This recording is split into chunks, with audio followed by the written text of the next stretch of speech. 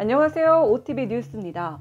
오늘은 뉴사우스 웨일즈주의 새로운 규제 강화 소식과 lockdown 연장에 관한 소식 알려드리도록 하겠습니다. 우선 오늘은 644명의 새로운 지역 감염 사례가 NSW주에서 있었고요. 그중 최소 41명이 감염 기간 동안 지역사회에서 활동한 것으로 알려졌습니다. 또한 4명이 추가 사망했습니다.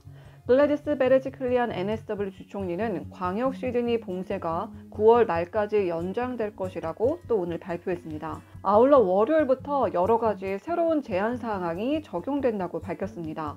다음 주 월요일부터 우려되는 시드니 LGA의 새로운 제한 사항으로는 오후 9시부터 오전 5시 통금과 하루 1시간으로 운동 제한, 하드웨어와 보육원, 사무용품 등 추가 소매점 폐쇄, HSC를 제외한 모든 시험과 교육의 온라인 진행입니다.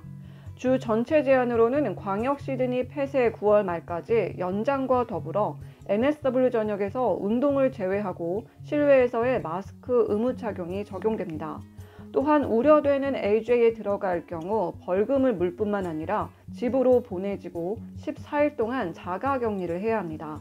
하지만 센트럴 코스트와 일라와라는 여전히 8월 28일에 봉쇄를 해제할 예정입니다. 이와 더불어 광역 시드니에서 뉴사우스 웨일즈주 지역으로 여행하는 사람은 누구나 허가증을 소지해야 하며 그렇지 않으면 최대 5,000불의 벌금에 처하게 됩니다. 허가 시스템은 시드니 델타 바이러스가 지역으로 더 확산되는 것을 통제하기 위해 오늘 밤 자정부터 시작됩니다.